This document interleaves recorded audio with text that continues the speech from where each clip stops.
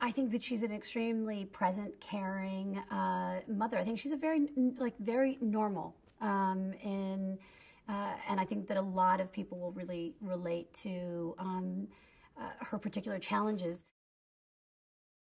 I had met Marlo, had just taken a, a general meeting with her because, uh, you know, I grew up watching um, her on That Girl and so loved her. Tried to convince her to let me do uh, That Girl as a, as a remake, which she is holding out, and many people have tried. Um, and and when this came up, I, I at this meeting, I, I, it just struck me that she would be so interesting to play the mother if she, you know, if if she liked the role enough. And I just suggested her to to Lisa, and uh, and I'm I'm thrilled that it worked out. I think she is so funny. She's so great in this, and it's just fresh. It's so fresh to have her. Uh, and as one of the, the, the kids in the movie had, had, we were looking at an opportunity for their for, for her to be dancing, and he said, "I'll, I'll dance with a legend," and it just just uh, struck me on how fortunate we are to to have her in this. She's incredible. Uh, just her spirit, her passion, her enthusiasm, her intelligence, um, uh, her strength.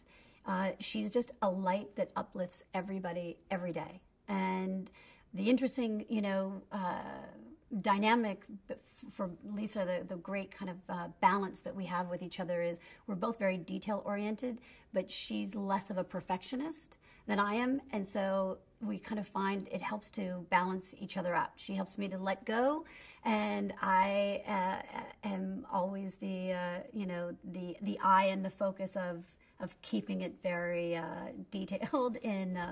Uh, uh, so it's great. I love her. this is. It's just. I mean, I wish every project was was like this experience because I literally am happy to be with her all day, hang out at night, to have dinner, and get up the next day and do it all over again. It'll be sad when this ends.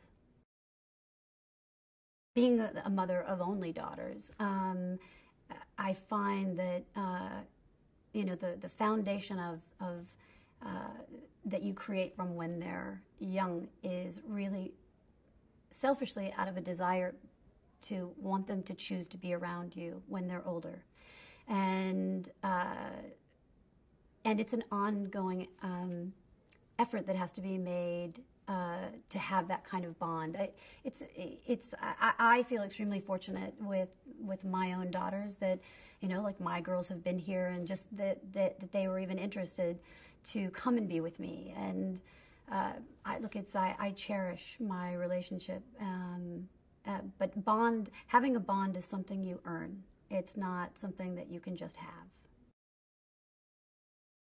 Well, I think it's not just even parents and kids. It's, I mean, uh, on one hand, I have an ability to immediately have access to know where they are, to have them check in, um, but it's also reduced our our connection uh, in a direct way. Even even uh, how much more that we text instead of phone to even hear one another's voice. Um, I always find it interesting. You know, I obviously was around when cell phones really were created.